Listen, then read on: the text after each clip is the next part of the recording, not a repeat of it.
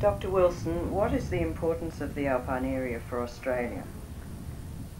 Well, as you know, Australia is a very flat continent, and so this highland country is quite unique. It's unique uh, for the flora that's, that's uh, here, the flora and fauna that we want to conserve. It's unique uh, for those other uses that we want to put this land to, for uh, the people uses such as tourism, bushwalking and, and skiing. And it's also uh, unique uh, for the high country grazing that we get for cattle, uh, grazing that raises our export uh, productivity, uh, and it's part of our, really our heritage of uh, uh, the country, the man from Snowy River image uh, that's so important for tourism. Listen, how can we ensure that these uses are sustainable?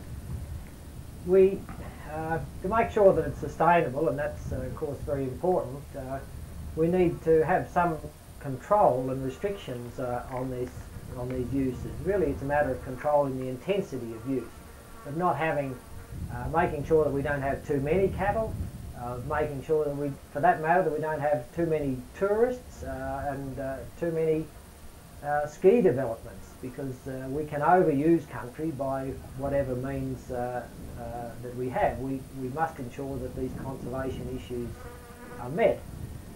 And they're going to be, after we've controlled the intensity of use, there still may be some particular hotspots of, of problems that we have uh, that we can manage. There may be areas that, for instance, uh, that uh, the bushwalkers really tramp the same track all the time.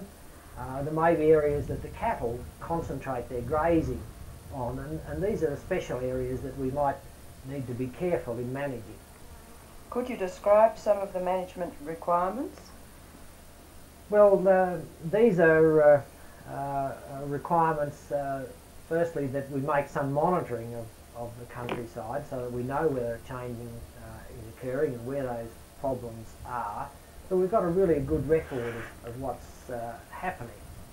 Uh, and there's also uh, uh other managements that uh, we can. We might like to exclude, for instance, uh, walkers or cattle from one particular area for a while if it does look as if there is some erosion occurring there. Although in most cases in the present intensity we find very little of these things. We might need to fence out a little patch, we might need to uh, pipe some water out from uh, the moss bed so that uh, the cattle are not trampling uh, these more sensitive patches.